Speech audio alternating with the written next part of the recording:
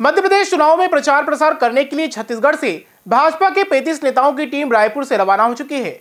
इसमें कई दिग्गज मंत्री नेता भी शामिल हैं। बता दें कि छत्तीसगढ़ में विधानसभा चुनाव शांतिपूर्ण होने के बाद भाजपा ने मध्य प्रदेश चुनाव की तैयारी के लिए छत्तीसगढ़ के नेता और मंत्रियों को प्रचार प्रसार करने के लिए मध्य प्रदेश भेजा है।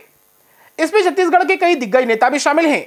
भाजपा नेता मध्य प्रदेश के प्रचार प्रसार की कमान संभालेंगे। कृषि मंत्री ब्रजमोहन अग्रवाल, स्वास्थ्य मंत्री अजय चंद्राकर भोपाल में प्रचार प्रसार करेंगे। प्रदेश के पैंतीस अन्य वरिष्ठ नेताओं को मध्य प्रदेश के चुनाव की ज़िम्मेदारी देकर भेजा गया है। मुख्यमंत्री डॉक्टर रमन सिंह भी मध्य प्रदेश जाएँगे, लेकिन फ़िलहाल पार्टी ने उनका कार्यक्रम जारी नहीं किया है। भाजपा प्रदेश अध्यक्ष धनलाल कौशिक ने बताया कि मध्य प्रदेश के साथियों की मदद करने के लिए यहाँ के वरिष्ठ लोगों को ज़िम्मेदारी दी गई है। इनमें केंद्रीय राज्य मंत्री विष्णुदेव साय, सांसद चंदूलाल साहू, पूर्व गृह मंत्री ननकीराम कंवर, पूर्व मंत्री कृष्ण मूर्ति बांधी, विधायक सावलाराम डेहरे और निर्मल सिन्हा पहले ही मध्य प्रदेश रवाना हो गए हैं। वहीं ब्रजमोहन अग्रवाल और अजय चंद्राकर सहित अन्य नेता अपने कार्यकर्ताओं को लेकर मध्य प्रदेश चुनाव के लिए रवाना हो चुके हैं, क्योंकि मध्य प्रदेश में भी विधानसभा चुनाव की तैयारी की जाना है। केंद्र और राज्य सरकार की योजनाओं का प्रचार प्रसार जनता के बीच जाकर करेंगे। मध्य प्रदेश के जो चुनाव है, उसमें लगभग हमारे 35 लोग निकल रहे हैं।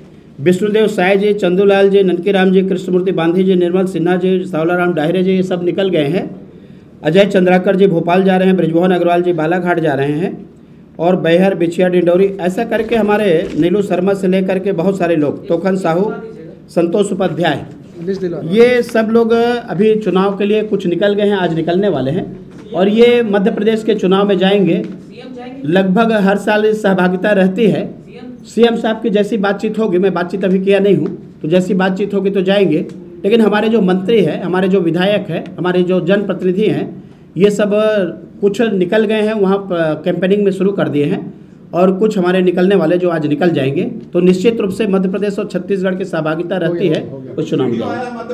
more information, log on to www.clips.in.